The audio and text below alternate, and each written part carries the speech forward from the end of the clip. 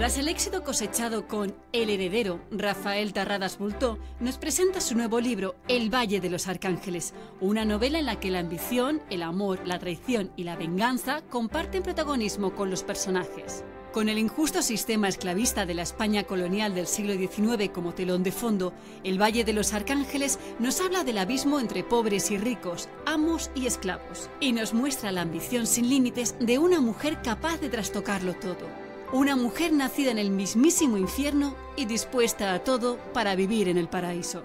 Rafael Tarradas Bultó nos transporta a uno de esos lugares a los que solo se accede a través de una novela. Una época apasionante y peligrosa en un país convulso que está a punto de cambiar para siempre.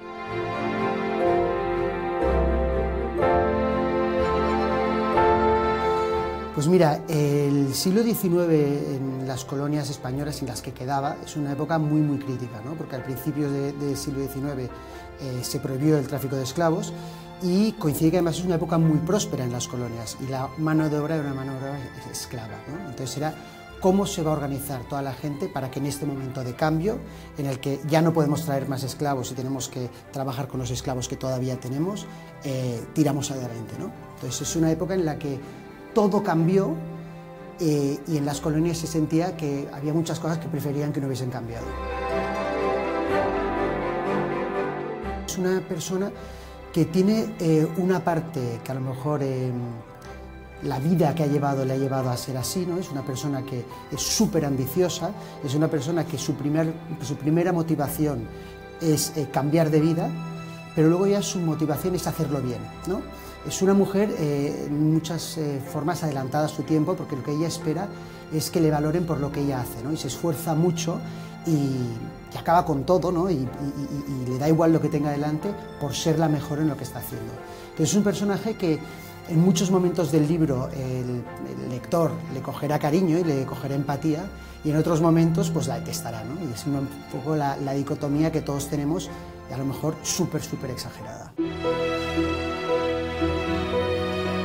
El Valle de los Arcángeles sin duda es una, novela coral, creo que hay una serie de personajes que evidentemente llevan el peso de la novela, creo que hay bastantes personajes pero que nadie se va a perder y al final lo que, lo que estoy intentando es que el Valle de los Arcángeles es un pequeño mundo en el que todos nos vamos a sentir reflejados, ¿no? porque al final todos tendremos eh, paralelismos con unos personajes y con otros.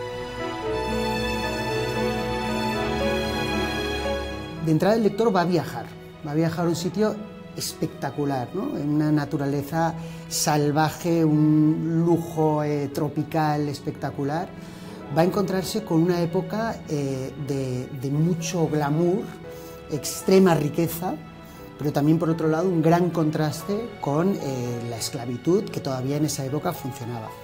Va a encontrar aventura también, ¿no? porque en, esta, en las épocas de cambios siempre hay una serie de conflictos que generan aventura. Y va a encontrar también amor, porque es que en los momentos también un poco extremos es donde dejamos, sacar nuestros, dejamos salir nuestros sentimientos y, está bien que además del odio saquemos el, amor.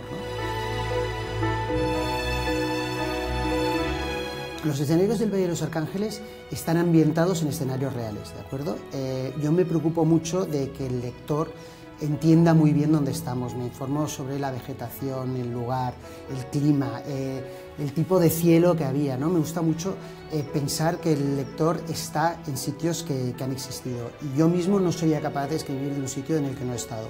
Entonces, aunque los escenarios, hay escenarios ficticios y escenarios reales, sí que son escenarios que eh, visualmente y descriptivamente son totalmente reales porque yo los he conocido.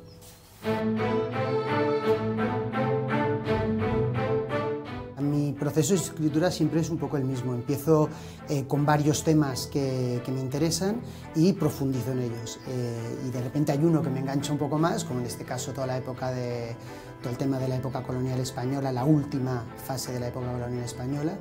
Me enganchó muchísimo enseguida, eh, creo que es muy interesante, creo que es muy desconocido. creo que a veces no hablamos suficiente de nuestra historia, nos traen mucho la historia de, de otros países de fuera y nosotros tenemos una historia riquísima y muy interesante. Y en el caso de, los últimos días del Imperio Español, pues la verdad que es muy, muy interesante de, conocer y, de, y en mi caso de explicar también.